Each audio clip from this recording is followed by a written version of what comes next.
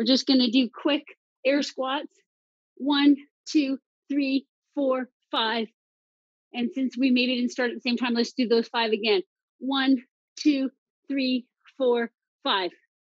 Now we're going to do a couple of lunges, and that means we're going to put all our body weight on our right leg. So I'll do it looking this way. I'll do it looking towards you. We're going to lunge and load up that leg and go back. We're going to lunge and load up that leg and go back. Let's do one more. All on the right leg. And now let's not leave the left leg out. One, two, three. And what our lungs really want is for us to jump because when we jump, we disrupt everything and we really get those lungs moving. So let's do some jump squats. So we're going to touch the ground and jump up in the air and touch the ground and jump up in the air. Touch and jump and touch and jump and touch and jump. And now we're getting tired. So we're just going to go back and do a few squats. Let's do five squats.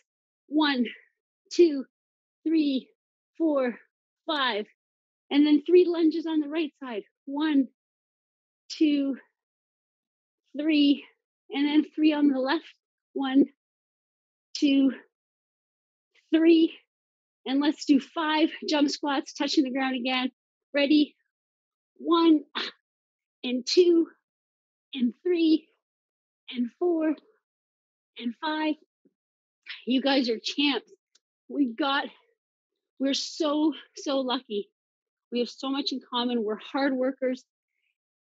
And you don't have to, you don't have to beat CF. You just have to use it to your advantage. So get out there, keep moving, breathe hard. Hey, I'm breathing hard right now. All of a sudden, my body forgot that I did all those races. It doesn't matter what you did in the past. What matters is what you do right now. So get out there and play and jump and live and take your medicine if you've got to take medicine. But you guys are going to have a great, amazing life. But you have to exercise because it's going to make you happy and it's going to make you feel empowered.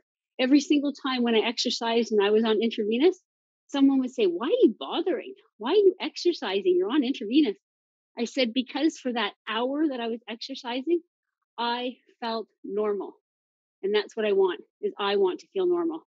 So be hopeful and send me an email or question if you have any questions at all. Keep strong, you guys.